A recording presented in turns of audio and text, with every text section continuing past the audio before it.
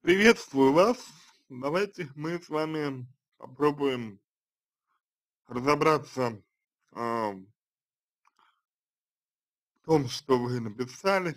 Давайте мы с вами попробуем а, понять, что происходит. Значит, а, основной лейтмотив вашего текста, он в принципе такой что мне нравится молодой человек, он лучше, чем те, кто был у меня до, но у него есть прошлое, которое я не могу отпустить, не могу простить. К проблеме прошлого Есть много подходов, ну, по крайней мере, несколько. Это и когнитивный, и психоаналитический, ассоциативный, эмоциональный вот тоже. Правда, говоря о последнем, об эмоциональном. А, здесь, конечно, нужна непосредственно ваша, так сказать, а, а, ваше участие для того, чтобы понять, откуда у вас такие эмоции, чем они, с чем они связаны. Вот. Значит, у моего молодого человека, пишите вы, было много а, одноразового секса до меня. У нас отношения серьезные, до меня были у, у него, э, до меня были у него всего одни серьезные отношения длительностью год, а он мне кажется серьезным и надежным человеком, но там факт наличия проституток платных в прямом смысле слова и одноразовых а, клубных знакомств, а также его ведение половой жизни 12-13 лет, вводит меня в замешательство. Ну, смотрите, а, вот вы все это написали, да? Человек вам не подходит, потому что у него другие культурные а, нормы, да, другие культурные взгляды, а человек по-другому видит а, то, что вы а, воспринимаете как что-то негативное. Норм, нормально ли то, что вы воспринимаете, ну вот, его э, взгляды как что-то негативное? Нормально. Потому что, ну, действительно, вы можете считать, что ведение половой жизни в 12-13 лет, да, это вообще низ, низкое, как бы, культурное развитие. А, нормально ли считать, что а, наличие проституток тоже является чем-то плохим. Да, нормально. У вас такой взгляд, у вас такое мнение, у вас такая точка зрения, такие убеждения. А может ли мужчина изменить свое прошлое? Нет, не может. Что вы можете сделать? Либо его, принять, мужчину, либо не принимать. А, для того, чтобы принять, да, нужно для начала принять себя. Принять э, свои собственные чувства, свои эмоции, себя. Полностью. Себя. а у вас этого не происходит. По 2 причинам. Первая причина это то, что вы отличница. Вот. А, и всегда на таких, как он, как на недостойных смотрели. То есть у вас есть некие установки, что вот есть недостойные мужчины. А, которых вы, например выше, может быть, кото которых вы, например э, ну, более достойны, да, и так далее. Вот. Это установка. Ну, можно, э, считать можно считать, что это классовая установка. Можно сказать, что это классовая установка. Можно сказать, что это в общем и цел и целом родительская родительская установка, родительская позиция. Ага, можно сказать. Можно, э, сказать, что ваши эмоции, вот то, как вы представляете себе это, да, вот что он тащит, а, другую, а, девушку в постель. Является таки таким своего рода эм, ассоциативным поведением. То есть, видимо, а, где-то, как-то, когда-то для вас это, вот данная, э, цепочка мышления, она для вас, а, стала актуальной. Она для вас, а, стала, ну вполне себе, э, реальной. И вы, а, воспринимали и воспринимаете до сих пор то, что происходит вот с мало э, с молодым человеком в контексте своих эмоций, в контексте своих переживаний, в контексте своих чувств, которые в свою очередь берут начало из прошлого опыта, которые нужно проанализировать, осознать и сделать правильные вы выводы. Чтобы у у вас немножечко поменялись, а, представления об этом. Далее. Эмоции.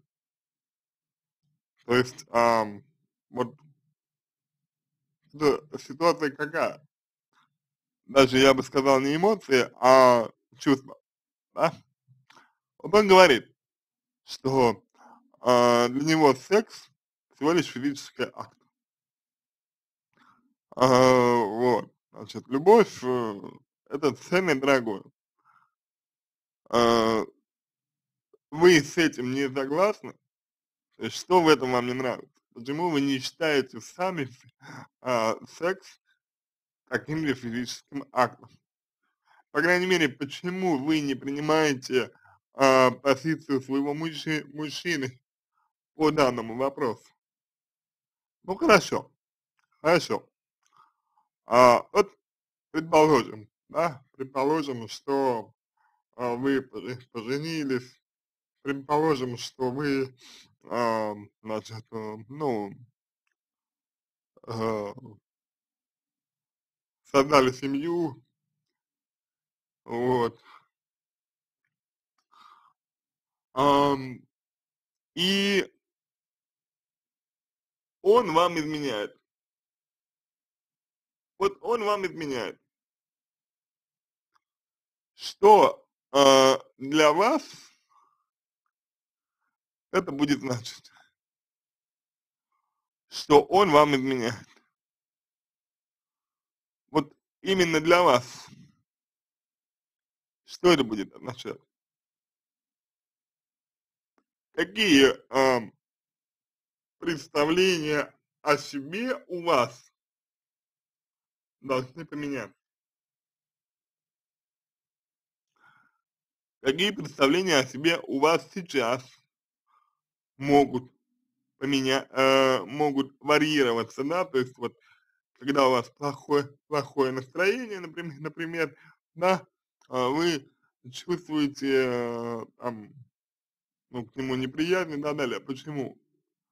Потому что он вам напоминает о том, что вы не единственная. Он вам напоминает о том, что вы, вы не исключительная, что помимо вас да, кто-то еще есть. Помимо вас есть еще другие мужчины, как бы. Э, ой, простите, другие женщины, не мужчины, а женщины, другие женщины есть. Вот. И вас это напрягает. Потому что вы-то отличница, вы-то первая, вы-то исключительная, вы-то единственная. И возникает вопрос, а почему вы были отличницей? Зачем вам это было нужно, быть отличницей? Для чего вы стремились быть первой? Почему хотели быть первой? И, что интересно, хотите быть первой э, до сих пор? Я в этом более чем, более чем а, уверен. Так почему? Зачем вам это нужно? Что вы пытались этим, ну я не знаю, может быть, доказать или показать э, себе, другим. Либо, может быть, вы таким образом э, приводили в жизнь, приводили в жизнь э, установки ваших родителей, о том, что вы единственная, неповторимая и, и исключительная. Может быть, да. В любом случае есть идеализация либо себя, либо, либо э, ценностей внешних, то есть либо себя, либо э, идеализация социальных норм, которые всегда, так или иначе, связаны с чем? Правильно, с обесцениванием чего-либо. То есть если вы что-то идеализируете, то вы что-то обесцениваете. Например, например, э, идеализируя свои достижения, идеализируя себя, либо идеализируя социальные нормы, вы обесцениваете мнение другого человека и другие нормы. И рассматрив, рассматриваете людей как своего рода классы, да, то есть вот вы смотрели как на недостойных, на недостойного мужчину, на, на этого человека. Но при этом э, все ваши мужчины были такими же, как он. Вы не уточнили, но я полагаю, это не обязательно. А почему все мужчины были такими же, как он? Почему? Потому что вы таких хотели видеть рядом с собой. Для чего? Либо потому что вам чего-то не хватает, и в них вы пытаетесь это для себя получить. Либо э, вы испытываете тягу к тому, чтобы чувствовать себя лучше на фоне этих мужчин, как бы занимать доминирующую позицию, как бы э, чувствовать себя э, ведущей, может быть. Вам приятное ощущение, например, что э, мужчина тянется как бы до вашего уровня. Вам нравится это чувство, что мужчина тянется к вам до вашего уровня. Потому что, ну, зрелые отношения, если вот вы человека любите, если вы человека принимаете, если вы себя принимаете, зрелые отношения, они как бы предполагают тот факт, что вы понимаете, что человек, в принципе, еще а, как бы сказать вам, а, он еще ребенок, и поэтому относится к этому а, как к достижениям своим, поэтому и хвастается. Любой мужчина, если он а, личностно еще не зрелый, ну или недостаточно зрелый, да, вот, он будет хвастаться своими интимными похождениями. Просто потому, что для мужчины это означает завоевание. И вам, как женщине, как женщине 27 лет, это нужно понимать. По крайней мере, понимать, чем продиктовано хвастовство. Но если вы чувствуете, что вам неприятно, что вам больно, что вам противно, да, это проблема не в нем, это проблема в вас. Это вы для себя в чем-то видите угрозу. Например, вы боитесь подтверждения того, что вы не единственный, что вы не первая, что вы не исключительная, что вы не лидер. Да, это идет в разрез а, с вашим представлением о мире и о себе в этом мире. Например, вы боитесь одиночества, например, вы боитесь предательства, например, вы боитесь того, что кто-то вас обесценит, либо у вас есть стойкие убеждения относительно того, какими должны быть, а, в принципе, отношения между мужчиной и женщиной. То есть, ну, вот я сейчас утрирую, да, немножко, а, но, может быть, вам э, было бы лучше, да, если бы у вас мужчина был там, например, девственником, у которого вообще не было бы ни одной девушки до вас. Но с другой стороны, вы понимаете, что а, с таким мужчиной, скорее всего, вы бы не были вместе. Потому что у вас, ну, предпочтения какие-то есть ведь определенные к мужчинам, да? Ну вот. То есть, то есть, то есть, вам нужно э, разобраться в себе, чего вы хотите от мужчины, вам нужно в нем, что заставляет вас с ним быть. Понимаете? И вот здесь мы подходим ага, к очень интересному моменту, а именно, момент такой, что он вам, как бы, э, говорит, что влюбился, влюбился э, в вас и хочет детей и семью. Ну, ну, допустим, как бы детей и семью пока не трогаем, это отдельный момент, вот. Скажем про чувства. Вы соглаша соглашаетесь, как бы, э, быть с ним, как вы говорите, но нет ничего связанного с тем, по крайней мере, я не увидел в вашем тексте ничего связанного с тем, что указывало, указывало бы э, на то, что вы его любите. Вы просто согласились быть с ним. Вы просто приняли его любовь. Но вы-то его не любите. Если бы он вам не сказал, что влюбился, как я понял из вашего текста, так бы ничего и не было. Возможно, у вас есть к нему симпатия, но эта симпатия не любовь. А если нет любви, нет принятия человека. Если нет принятия человека, невозможно построить отношения, невозможно принять его. И возникает вопрос, вопрос тогда. А если все так, то зачем тогда вы пытаетесь его принять? Зачем тогда пытаетесь забыть его прошлое? Понимаете, для чего, если вы его не любите? Если любите и принимаете полностью, то принимаете полностью и его прошлое тоже. Тут как бы вот нужно определиться с этими моментами, потому что они, они важны. Дальше. Так, значит, внешне симпатичный, так, берет своим э, харизматичным характером. а, во всем остальном он меня устраивает. То есть, знаете, какая штука? А, вы не говорите, что я его люблю. Вы не говорите, что он мне дорог. Это он вам говорит про любовь. А вы как бы говорите, что он меня устраивает во всем, во всем.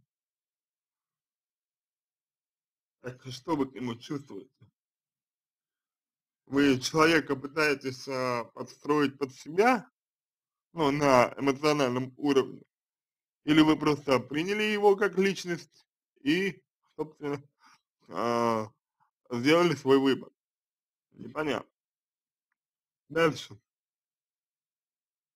У, у вас а, были мужчины тоже, ну, а, до него. Вы об этом никак ничего не говорите. То есть, ну, были и были мужчины, но как бы это было не, не в клубе, как вы пишете, да, ну, вот, и, в общем, ну, все не как у него, как бы, а, как бы, а, как бы оправдываетесь вы. Скажите, а вы а, серьезно полагаете, что это имеет значение? У кого, где и сколько было партнеров? И какие они были, эти партнеры? Вы серьезно считаете, что это имеет значение вообще хоть, хоть какое-нибудь? Если да, то почему? Если есть разница, то какая? Э, девушки легкого поведения ли были у вашего мужчины? Знакомство на одну ночь были у него. У вас мужчины были. Какая разница, они были. Важен только факт этого, факт того, что они были, и все. По большому счету больше ничего не важно. Но вы себе это позволяете, опять же считая, что у вас все по-другому, а ему нет. Считая, что у него все было не так. И здесь мы сталкиваемся с чем? А, с идеализацией себя, с убеждением своей исключительности. Конечно, а, я не говорю о том, что вы прямо вот э, считаете себя лучше всех. Нет. Нужно понимать, что а, я говорю об этом ну, с некоторыми условностями. Я хочу сказать, что вы, э, как мне показалось, ставите себя выше мужчины и допускаете для себя то, чего не допускаете для него. Вот и все. Далее. Эм, как бы, смотрите. Вы считаете, что человек до вас, ну, до начала отношений, отношений с вами а, не должен был жить своей жизнью, не должен был получать от нее удовольствие максимально. Вы так считаете? Или как? А если так, то, опять же, почему? Почему вы так считаете?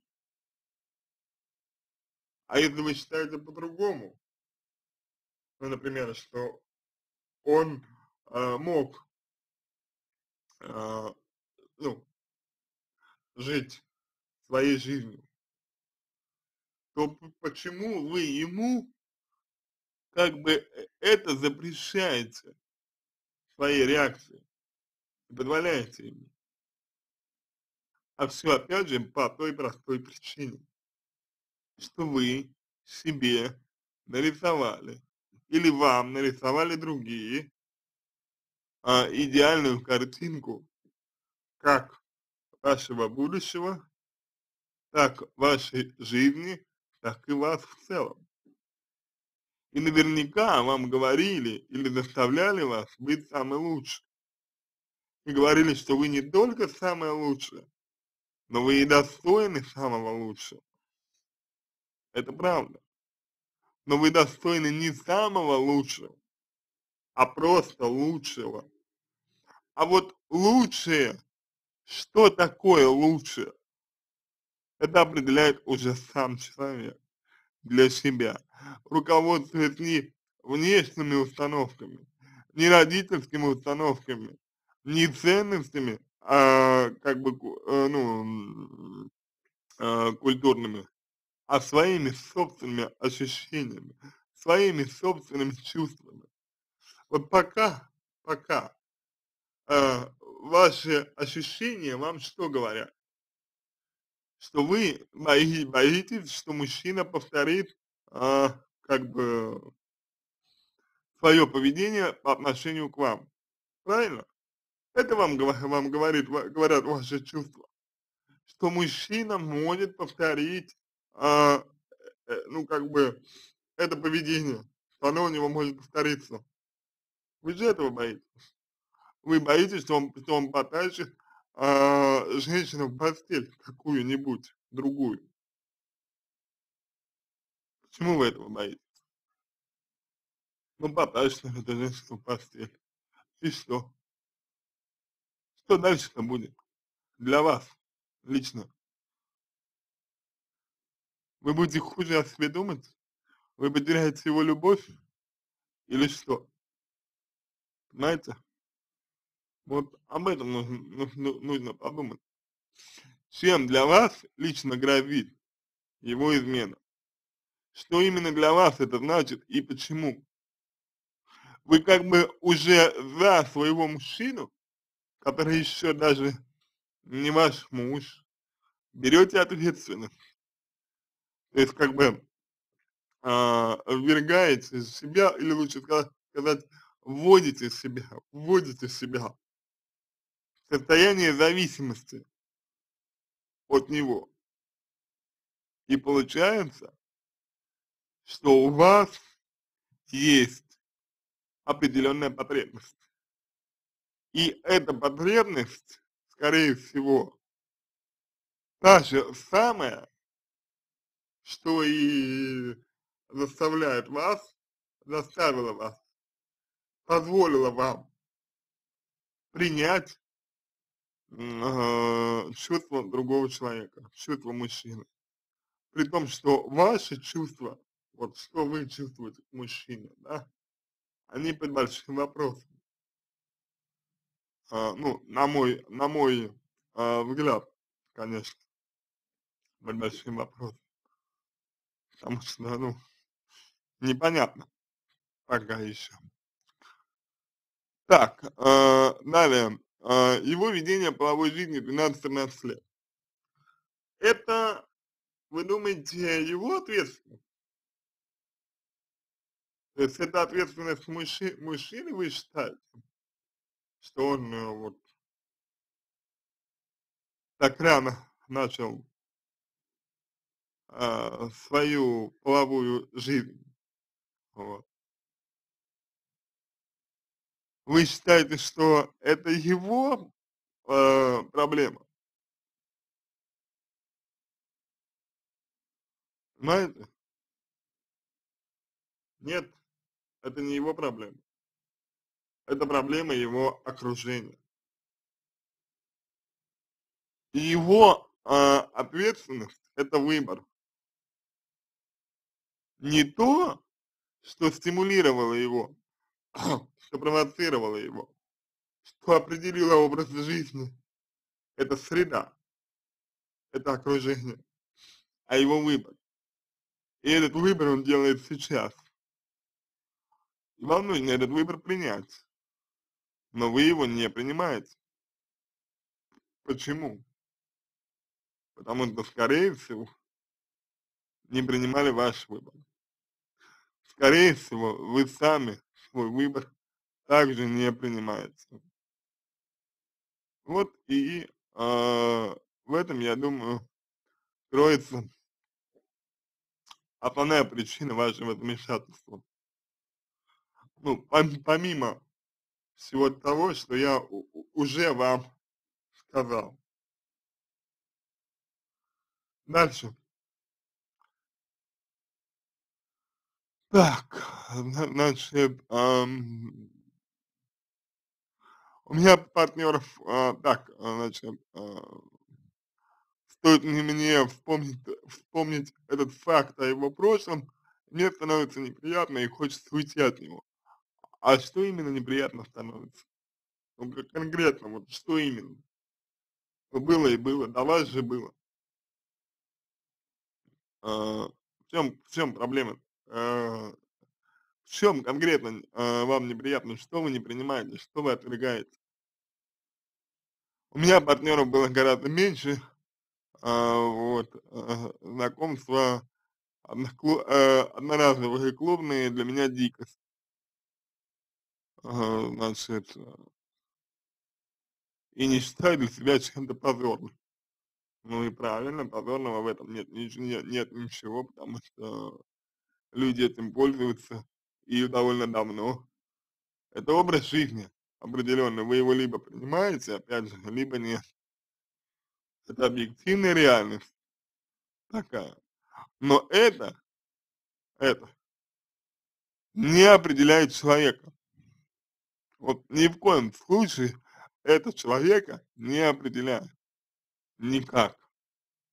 Это не может его определять. Вы же почему-то считаете, что образ жизни определяет человека.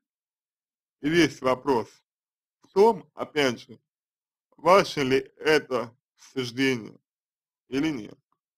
Ваша ли это позиция, точка зрения или нет. Я полагаю, что это очень важный момент. Далее, а, значит, так. Он на мои вопросы отвечает, что сам эту тему обычно не поднимает. И это, я так понимаю, правда. А, он не считает для себя, э, так, а, для него секс это фи физический акт, правильно, любовь нечто ценное, дорогое, правильно. А, в нечаянном упоминании своих, э, связей скорее есть нотки х хвастовства. Это юный возраст возраст даёт о себе знать. Вот.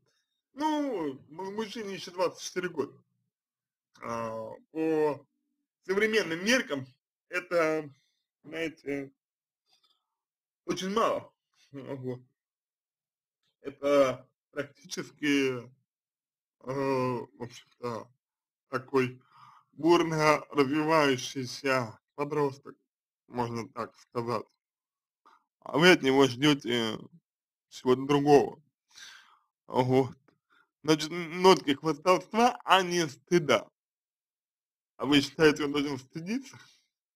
Почему? Потому что вы чего-то стыдитесь? Или вас приучили стыдиться? Или вас приучили стыдиться чего-то? От чего вас приучили стыдиться? Может быть, своих желаний? А не потому ли вы тогда выбрали этого молодого человека? А, потому что он олицетворяет все то, чего вы хотите. Почему вы считаете, а, что человеку должно быть стыдно? А, стыдно это когда люди откровенно причиняют вред другим, и то только в том случае, если они этого не хотят. А если человек хочет причинить вред, он его причиняет, за что тут стыдиться? Стыд – это не принятие себя. Стыд – это чувство вины, искусственное чувство, которое э, формируется, опять же, окружением для того, чтобы человек делал так, как удобно другим, а не ему самому. В здоровом состоянии, если человек чувствует, что ему стыдно, он просто этого больше не будет делать. Он, он проанализирует, он сделает выводы, и он не будет стыдиться. Понимаете? Он не будет стыдиться. А, ну, того, что сделал. Исходя исходя из этого, а, вот мне вы, знаете, нап напоминаете такого ребенка, который, э, ну, может быть, живет в неком таком идеализированном мире, вот, который идеализирует себя, который хочет быть единственным и неповторимым, и который, вероятно, э, через какие-то достижения социальные, через тот же самый стыд ожидает одобрения, любви. Потому что этой вот э, как бы любви, да, он недополучал. Почему я так говорю? Потому что если бы вы хотели быть отличницей сами по себе, если бы вы добивались каких-то результатов своей деятельности сами по себе, и если бы эти убеждения, которые у вас есть относительно секса, относительно образа жизни, относительно достоинства, ну, достойных людей или нет, были бы чисто э, вашими и только вашими, то я полагаю, что в таком случае вы просто не были бы с этим мужчиной.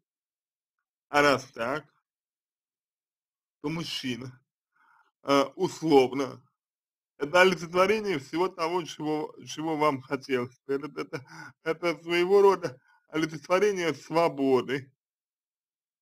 А вы и ваши убеждения – это надстройка социальная, которая давит на вас. Вполне вероятно, что именно поэтому вы и опасаетесь того, что у вас такой мужчина. Ведь как? Как в обществе вас примут, если он вам изме изменит, например? Это же все. Это же трагедия.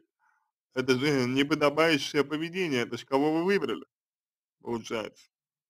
Это в свою очередь означает, что вас волнует мнение других. А это в свою очередь означает, что вы принижаете себя. В свою очередь это означает, что вы не уверены в себе, а не уверены в себе делает болезненной возможную измену. Потому что это как бы подтверждает тот факт, что вы, ну, где-то в чем-то допустили ошибку. Вот.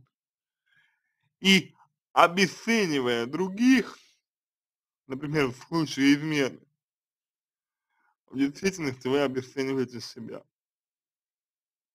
Потому что вам нужно обесценить других, вам нужно обесценить других, дабы возвысить себя. Понимаете? Вам нужно э, считать кого-то недостойным того, чтобы себя считать достойным достойной.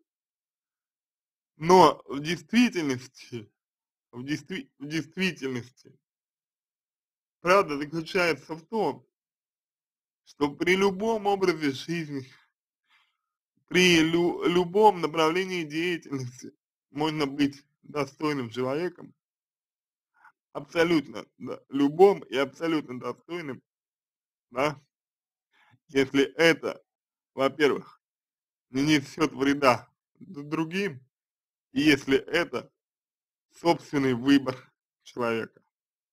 Понимаете? Вот и, вот и все. Больше никаких критериев э, достойный, недостойный. Нет. Нету больше никаких критериев. Но они у вас есть. И эти критерии субъективные. Дальше. А, значит, так. Ам, я так, ну понятно, что смотрели как, как на недостойного. А, все знали, с какими женщинами они спят, ну и что? И что? Ну, какая разница? А теперь такой же мужчина хочет жениться в семью. Ну, вы знаете, а, а, это он вам сказал, что хочет э, жениться на и семью. А вы спросите у него, зачем ему семья вообще нужна, нужна. Ну вот так, помимо всего прочего, зачем ему семья? Что она ему должна дать, по его мнению? Что он вкладывает в нее? Смысл? А рациональным мышлением я понимаю, что это хорошо, и не факт, что он будет гулять в браке. Ну а если будет гулять в браке, то что это означает? Что он не удовлетворен. Либо не удовлетворен, либо не уверен в себе. Нуждается в самоутверждении. Вот что это значит. К вам это, это отношение никакого не имеет. Вы несете ответственность только за себя. Выбрали человека, сердце не прикажешь. А одобрение кого-либо вам не нужно. Если нужно, это уже не вы. Понимаете? Ага, мой брат даже нагулялся и не будет ага, по-прежнему со всеми подряд спать. Но моя эмоциональная часть ничего не может с собой поделать. Мне просто противно становится. Ее нужно анализировать, эмоциональную часть. Где, когда и как вы себя так чувствовали? Где, когда вы научились так реагировать на данные ситуации? Почему у вас такая реакция? Кто научил?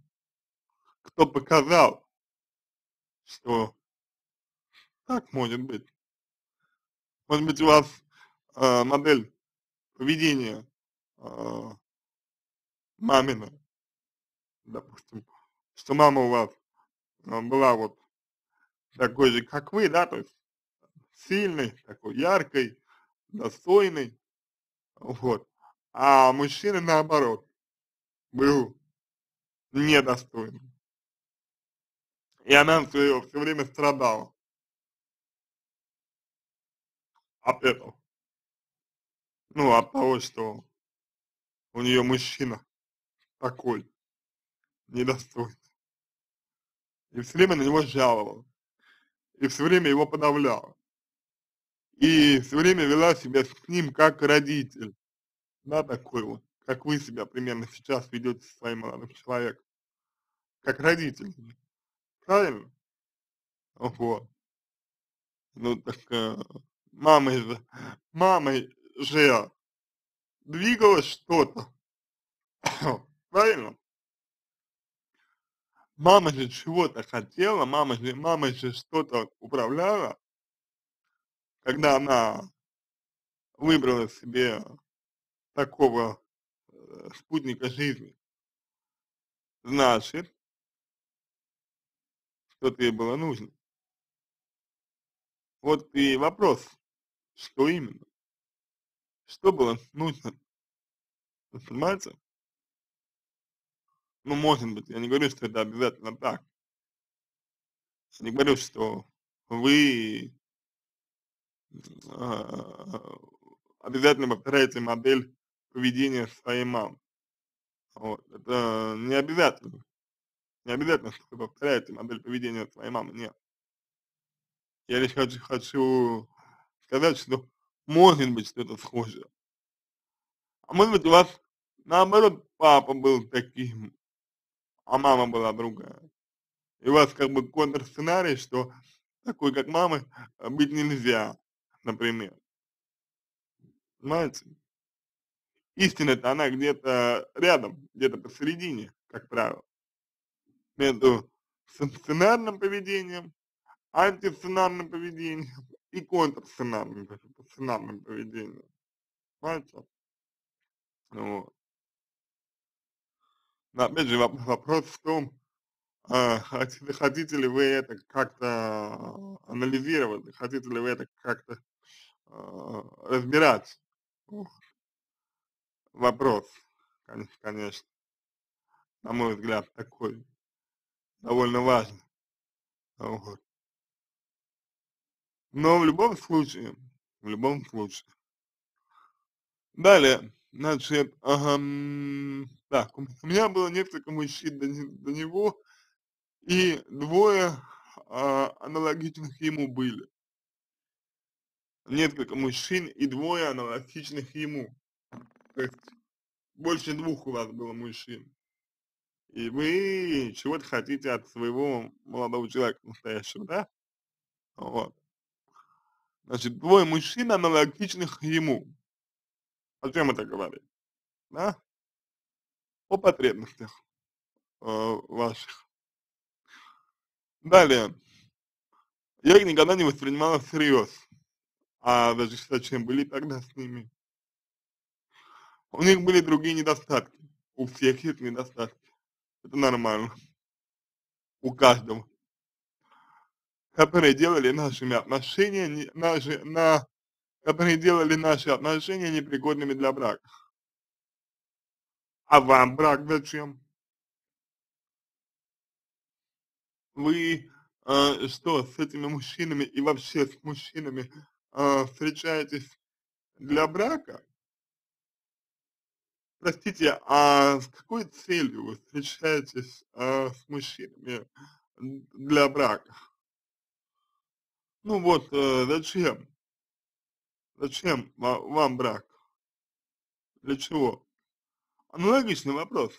Э, какое значение вы э, вкладываете в брак для себя? Что он вам должен дать? Чего вы от него хотите, чего вы ожидаете от него. Важный это момент, очень. Ну, нужно для себя понять, э, как бы, чего вы ожидаете, что вам нужно. Да, нужно, чтобы понять, где грань между вашей ответственностью, например, и ответственностью другого человека. Вот. Без этого никак не получится. А, по-другому невозможно будет.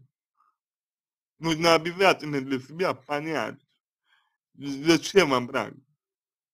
Получается, что всех мужчин, по сути, всех мужчин, по сути, а, вы как бы воспринимаете через призму брака. То есть вот а, подходит он мне для брака или нет? Ну, это разве правильное восприятие э, как бы людей? Это разве правильное восприятие мужчин? Вообще, в принципе. Как вы вот считаете сами? Для себя. Вы просто взаимодействуете с мужчинами, вы просто с ними, э, когда встречаетесь, вам нравится человек, вы готовы его принять, готовы закрывать глаза на его недостатки, на те, которые у него были на момент э, нахождения с вами в э, романтических отношениях. Все. Не готовы никакого, никакого брака. Вы о харизме говорите, э, ну, своего мужчины. А, что кроме харизмы, э, харизма это единственное, что вам кажется должно быть в мужчинах, чтобы быть с ними, с ними в адекватных отношениях, например. То есть тут вот э, тоже момент такой довольно важный, на мой, на мой взгляд. Дальше идем. Значит, э, но ведь этот намного лучше всех, что у меня был. Вы знаете, э, ваше осуждение о мужчине, что он, он намного лучше, чем э, тех, что у вас был. Такой какой-то сравнительный анализ получается э, у вас. То есть вы сравниваете его с другими. А если он э, в определенный момент времени, в определенной ситуации поведет себя так, что, например, вы перестанете думать, что он лучше, чем всех, кто у вас был до этого, вы его тут же бросите, например? К чему вот эти вот сравнения? К чему вот эти вот э, попытки найти самого лучшего мужчи мужчину? Зачем? Чтобы кому-то что-то доказать? Чтобы себе что-то доказать? Понимаете ли вы, что при таком раскладе ни о какой любви речь не идет, вы просто приглядываетесь к людям, э, приглядываетесь к мужчинам и выбираете себе э, того мужчину, который самый лучший для вас, по вашему мнению. Но это же его лучшесть, простите за, э, ну, корявость, это же его лучшесть. Волей-неволей всегда, рано или поздно, обернется для вас чем-то, всегда чем-то для вас она обернется, потому что идеальных людей нет. Если же человек харизматичный, например, у этого есть свои, свои оборотные стороны медали. Если человек активный, у этого есть оборотные стороны своей медали. У всего есть оборотные стороны своей медали. Лучших людей нет знаете, самых лучших людей, опять же, для вас нет. Постарайтесь перестать э, думать об этом именно в таком ключе, о людях. Постарайтесь перестать думать о людях в таком ключе. Это, ну, знаете как, это по меньшей мере недальновидно. А по большей мере, по большей части, в этом есть что-то детское. То есть, по сути, то, что вам не нравится в своем молодом человеке. Вот. Понимаете? И в итоге, в итоге, ситуация, ну, походит на, походит на то, что э, два таких э, ребенка, один ребенок э, в буквальном смысле слова, да, такой подросток, вот, уже такой старший подросток, да, вот, а вы, это, ну, можно сказать, ага, тоже ребенок, но периодически регрессируете, в, э, периодически э, проявляете это свое детское состояние в родительской позиции по отношению к мужчине. То есть этот не пригоден, этот не подходит, этот самый лучший, все, я его выбрал. Вот. В действительности это тоже детская позиция такая, как бы регрессная детская позиция. По-взрослому вы принимаете человека, готовы принять его, а чтобы принять? Его, что, что нужно для этого? Чтобы принять человека, нужно принять себя сперва полностью, без всяких дам, достоин, недостоин, без достижений, без э, каких-то там, я не знаю, э, социальных э, там значений, без социального значения, без чего-либо еще. Просто, просто, безусловно, себя принять. Готовы? Либо да, либо нет. Все. Вот пока себя так, не, так вы принять не можете, пока если так вы себя принять не можете, то ни о каком принятии другого человека в принципе речи быть не может. Поймите. Всегда будут какие-то условности. Вот. Как мне э, значит, пересилить себя и, и забыть его прошлое. Пересилить себя это что? А, наступить на свои э, желания, наступить на свои чувства, например, наступить на свои э, какие-то эмоции, которые как бы вам, ну, как бы как бы как бы сиг сигнализируют о том, да, вот, что что-то не так. О том, что вот, ну, что-то неверно происходит. О том, да, что, вам что-то не нравится, вам, ну, что-то не по душе.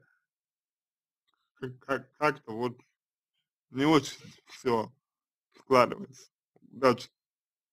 И пересилить себя- это значит что? Подавить. А подавить себя- это значит что? Закрыть глаза на свои желания, на то, о чём сигнализируют ваши чувства. Почему вы так делаете? Потому что привыкли. И делаете вы это, скорее всего, не 1 раз уже. Не 1 раз вы себя пересиливаете, не 1 раз вы на себя наступаете.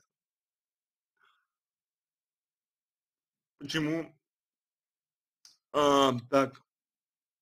Потому что так делали с вами другие. Ва ваши родные, по всей по всей видим видимости. Они пересиливали себя, переступали через себя и и вас стимулировали переступать через себя также. Хорошо это? Для идеальной социальной жизни- да. Для ли личностной, э, жи жизни- нет, абсолютно. Потому что, ну ну никакого счастья, а, не может быть. А, ну, в данном случае. Понимаете? Вот. Вот как бы момент, а, какой. Дальше. Дальше, а, значит так, а, ведь для него оно ни ничего не значит, почему тогда значит для меня? Хороший вопрос. Не хочу расставаться из-за такой глупости.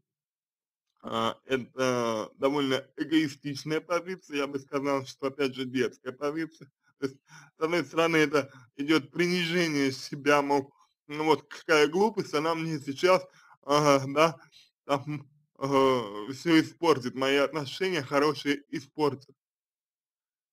А, вот. Ну, это это это несерьезно на самом деле. Правда, это это это несерьезно. Это не глупость. То, что с вами происходит- это не глупость. Это реальность. Вот. А, это реальность на самом деле. И, а, я полагаю, что в реальности в реальности а, ни в коем случае нельзя, как-то вообще обесценивать себя. Потому что то, что является для вас, как вы говорите, глупостью то, что является для вас, как вы говорите, досадным препятствием на самом деле очень важно. Вот. Но это, скорее всего скорее всего не подходит для ваших целей каких-то. Знаете, в дело, в чём в чём, а, штука?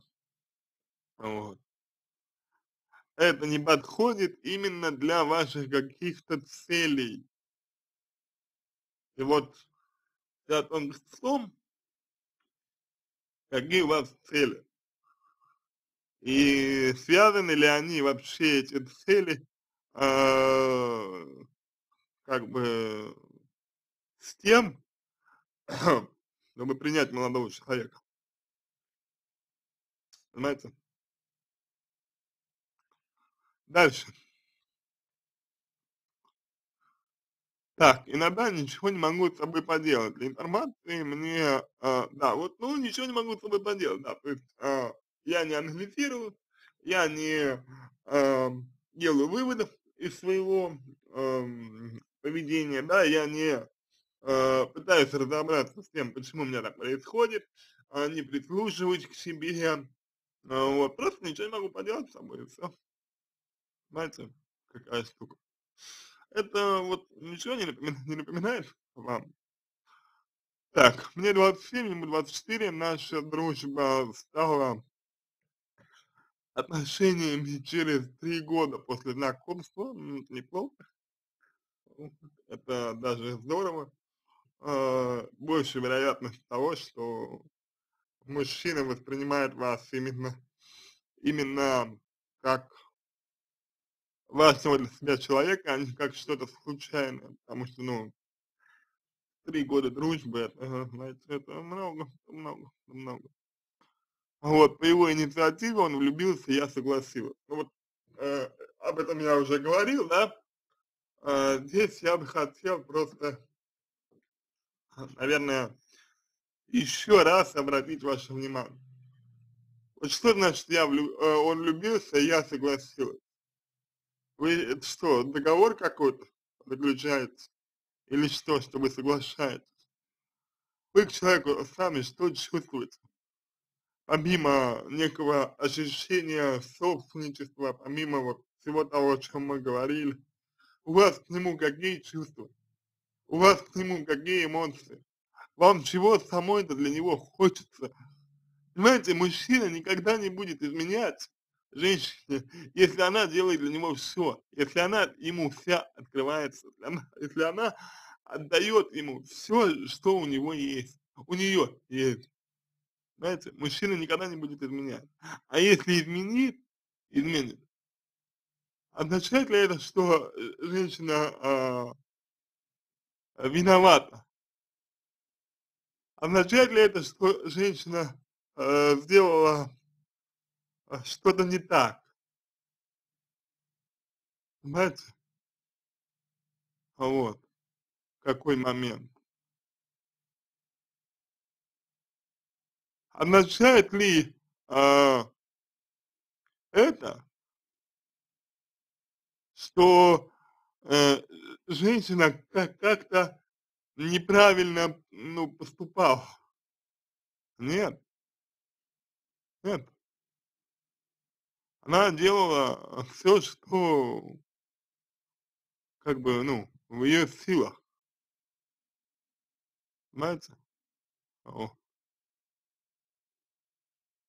Она делала всё, что могла сделать по сути. Как как бы. О. Ну и всё. Вот ответственность, а, её, вот ответственность его его. Понимаете? Дальше. Идём дальше. Ам, так, значит, ам Щас, секундочку. Так. А, значит, до этого у каждого были другие партнеры, он хочет жениться и детей. Обязательно уточните у него, зачем ему дети и для чего ему свадьба в 24 года-то. Как бы. Вот. Я сказала не раньше, чем через год. Чем руководствовались, когда сказали это? Почему именно через год? Почему такие условия? Особенно без учета, без, ам, понимания того, вообще какие у вас чувства и так далее. Вы сами-то вообще готовы отдавать мужчине? Безусловно, причем отдавать. Не так, знаете, что вот, а, вот я, а, буду и буду ему отдавать только если, а, там там он мне, а, там что-то сделает или он мне там обещает, или если я буду уверена, что он не изменит. Нет, а вообще просто безусловно готовы отдавать и се себя ему, не зная, что будет дальше, детям, не зная, что будет дальше? Детям вообще готовы себя отдавать? Для себя пожили или еще нет? То есть почему через год, почему именно через год? Как бы. Вот, э, значит, я не смогу избавиться от ревности или брезгливости, или чувства несправедливости.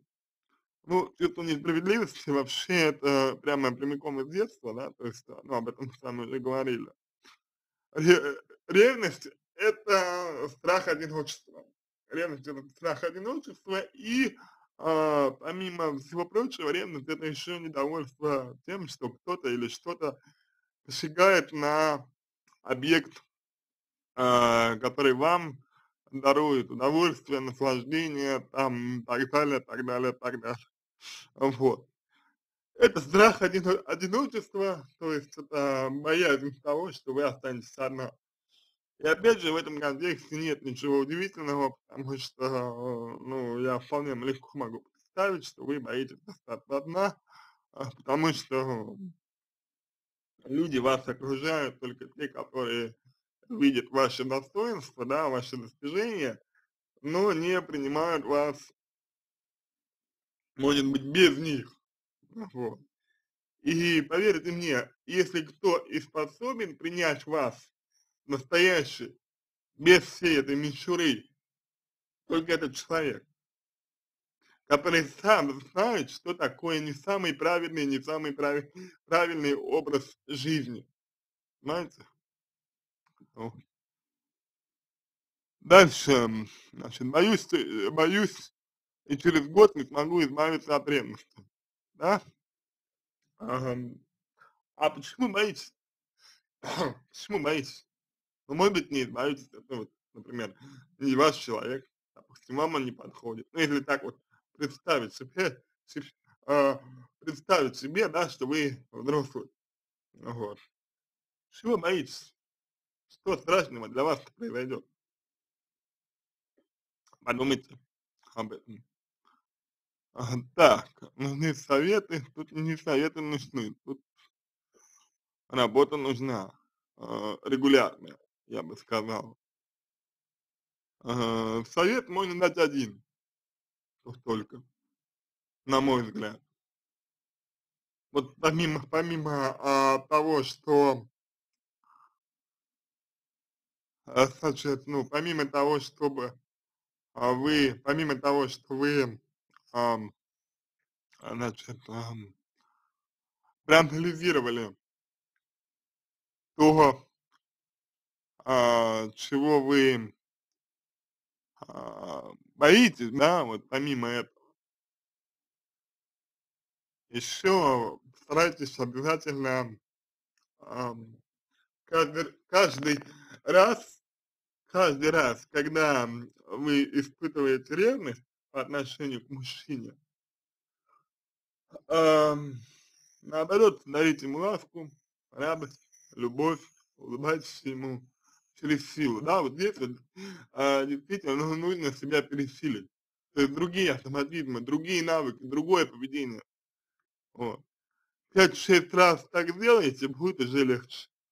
И каждая ваша ревность, а, вот этот взрыв ревности, который, ну, по привычке будет в любом случае, да, еще какое-то вре какое-то время, не сам не самое короткое.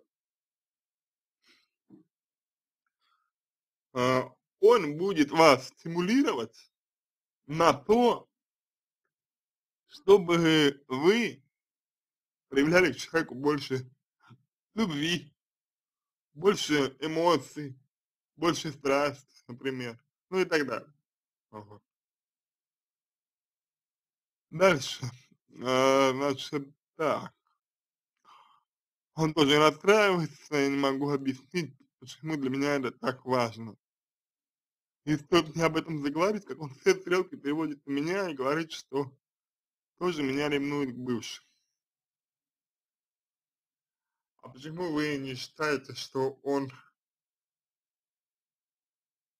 а, может ревнова ревновать? Ага, действительно. То есть вот откуда вы знаете, что он а, не ревнивый? Может быть, он это скрывает? Может быть, он откуда вы знаете, почему вы думаете, ка как бы как бы думаете за человека, да? На этом всё. Надеюсь, что помог вам. Если у вас остались дополнительные вопросы, пишите в личку, буду рад помочь. Если вам понравился мой ответ, а, буду благодарен, если сделаете его лучшим. Желаю вам всего самого доброго и удачи!